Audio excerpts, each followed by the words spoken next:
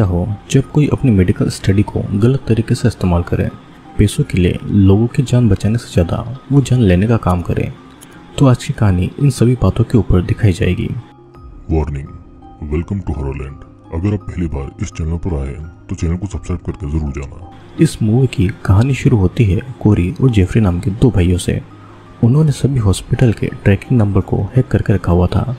और अब जब भी कोई इमरजेंसी नंबर पर कॉल करता था तो वो कॉल उन तक पहुँचता था। दूसरी तरफ़ एक कपल अपना रोमांटिक टाइम बिता रहे थे कि तभी उस लड़की के हाथ में एक चाकू घुस जाता है और तब वो इमरजेंसी नंबर पर कॉल लगाती है। कुछ ही देर में वहाँ पर कोरी और जेफरी एंबुलेंस लेकर पहुँच जाते हैं। वो लड़की को इलाज के लिए अपने साथ ले जाते हैं और उनकी पॉलिसी का बहाना बनाकर वो लड़की के बॉयफ्रेंड को उसके साथ में आने नहीं देते हैं। एंबुलेंस के अंदर जेफरी उस लड़की से कुछ हेल्थ रिलेटेड क्वेश्चन पूछ रहा था। और कुछ देर में उसे एनेस्थेसिया देकर बेहोश कर देते हैं। फिर वो उस लड़की को अपनी सीक्रेट लोकेशन में लाकर उसकी बॉडी की सर्जरी करते हैं और उसकी बॉडी के कुछ ऑर्गन्स को एक डॉक्टर के पास में बेच देते हैं। असल में दोनों भाई ब्लैक मार्केट में बॉडी के ऑर्गन्स को बेचते थे और इन सब में वे दोनों बहुत अच्छे पैसे कमा रहे थे। जेफरी फिर उस लड़की के सोशल मीडिया अकाउंट में ये मैसेज डाल देता है कि वो सब कुछ छोड़कर बहुत दूर जा रही है और जेफरी यहाँ पर मासूम और छोटे बच्चे जैसा था, जिसे अपना भाई कोरी अपने हिसाब से कंट्रोल करता था। अब अगले दिन सिंडी नाम की एक लड़की अपने दोस्तों के साथ में जंगल में घूम रही थी। तभी एक पत्थर से टकराने पर सिंडी के पैर पर चोट लगती है और तब वे लोग इमरजेंसी नंबर पर कॉल लगाते हैं।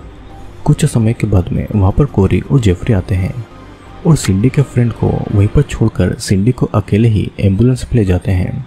एंबुलेंस में कुछ हेल्थ रिलेटेड क्वेश्चन पूछकर जेफरी उसे फिर से एनेस्थीसा देकर बेहोश कर देता है।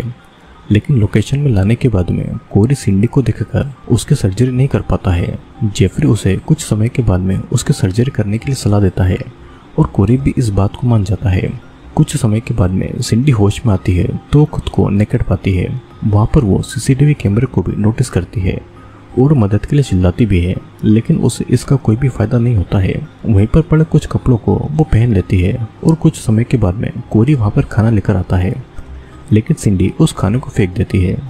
गुस्से में कोरी सिंडी को हैरेस करने लगता है और तभी सिंडी उसके फेस पर लात मारकर उसे खुद से दूर कर देती है। कोरी उसे धमकी देकर वहाँ से चला जाता है और कुछ समय के बाद में जेफरी वहाँ पर आकर सिंडी के घाव को साफ़ करने लगता है। उसी समय सिंडी की आँखें खुलती है और वो जेफरी को धक्का मारकर खुद से दूर कर देती है।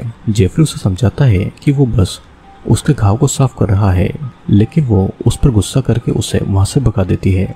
उसके जाने के बाद में सिंडी ज़मीन पर पड़ा हुआ खाना खाने लगती है। और सीसीटीवी कैमरे में सिंडी की यह हालत देखकर कोरी बहुत खुश हो रहा था।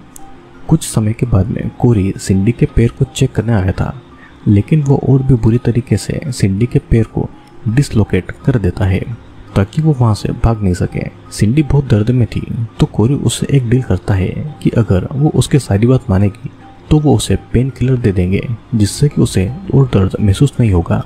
सिंडी इस बात को मान लेती है और कोरी उसे पेन किलर दे देता है। लेकिन वो पेन किलर नहीं, बल्कि बेहोशी की दवाई थी, जिसे पीते ही सिंडी बेहोश हो जाती है।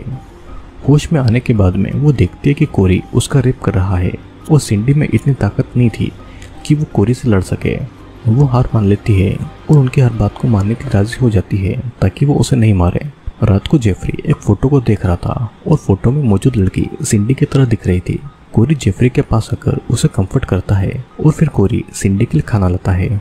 और दोनों के बीच में ह्यूमन ऑर्गन के बिज़नेस को लेकर बातें हो रही थी। कोरी के मुताबिक वो इससे बहुत सारे लोगों की जान बचा रहा है। और सिंडी यहाँ पर कोरी को चैलेंज करती है कि वो उसके भाई को उसके ही खिलाफ कर देगी। इस बात को इग्नोर करके कोरी वहाँ से चला जाता है। और अगले दिन सिंडी जब कपड़े बदल रही थी तो उस समय वहाँ पर जेफरी आता है, जो कि सिंडी को नेकेट देखकर अनकंफर्टेबल फील कर रहा था। सिंडी उसके पास आकर उसे सेड्यूस करने लगती है, लेकिन जेफरी वहाँ से भाग जाता है। और ये सारी बातें कोरी सीसीटीवी कैमरा में देख रहा था, लेकिन जेफरी की लॉयल्टी चेक करने के लिए वो उससे कुछ नहीं कहता है।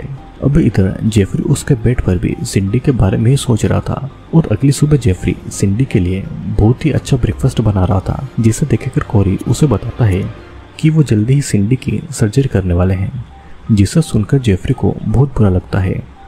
कोरी खुद सिंडी के लिए ब्रेकफास्ट लेकर जाता है और उससे कुछ हेल्थ रिलेटेड क्वेश्चन पूछता है। सिंडी उसका सवालों को जवाब तो दे देती है, लेकिन कोरी को बहुत गालियाँ भी देती है। और इस वजह से बिना कुछ बोले कोरी वहाँ से चला जाता है। कुछ समय के बाद में वहाँ पर जेफरी आता है और सिंडी अपनी बातों में उससे फंसाने लगती है और दोनों वहाँ पर इंटीमेट होते हैं। सिंडी को ज़्यादा करीब आता देखकर कोरी जेफरी को समझाता है कि सिंडी यहाँ से बाहर निकलने के लिए उसका साथ में बस ये नाटक कर रही है। लेकिन जेफरी कोरी की बातों पर यकीन नहीं करता है और वो कोरी से ही झगड़ा करने लगता है। क्योंकि जेफरी नहीं चाहता था कि उनकी बहन होप की तरह ही सिंडी मारी जाए। कोरी किसी तरह जेफरी को शांत करता है। वो दिन ब दिन जेफरी और सिंडी करीब आ रहे थे। जेफरी सिंडी को उनकी बहन होप के बारे में बताता है कि उनके पेरेंट की मौत के बाद वे सभी एक साथ रहा करते थे। लेकिन कुछ समय के बाद में कोरी और लड़कियों को घर पर लाने लगा था, जिसकी वजह से होप डिप्रेशन में चली गई थी। और उसकी मौत हो गई थी।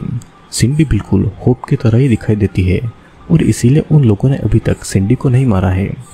कोरी वहाँ पे आकर जेफरी को काम के लिए वहाँ से ले जाता है और कुछ समय के बाद में अपने साथ एक बेहोश लड़का लाकर वे लोग वापस आते हैं। कोरी सिंडी को रूम के कोने में बाँध देता है और फिर लड़के के होश में आने के बाद में ज़िंदा ही उसकी सर्जरी करने लगता है। सिंडी उनको ऐसा करने से मना कर रही थी, लेकिन वे लोग उसकी बातों को इग्नोर कर रहे थे। अब कुछ ही समय में वो लड़का तड़प तड़प कर मारा जाता है और काम खत्म होने के बाद में कोरी सिंडी से कहता है कि वो अब से उसी के सामने दूसरे लोगों की सर्जरी करेगा। कुछ देर के बाद जेफरी सिंडी के लिए खाना लाता है और यहाँ पर सिंडी जेफरी को मना लेती है अपने भाई को छोड़कर उसके साथ में भागने के लिए।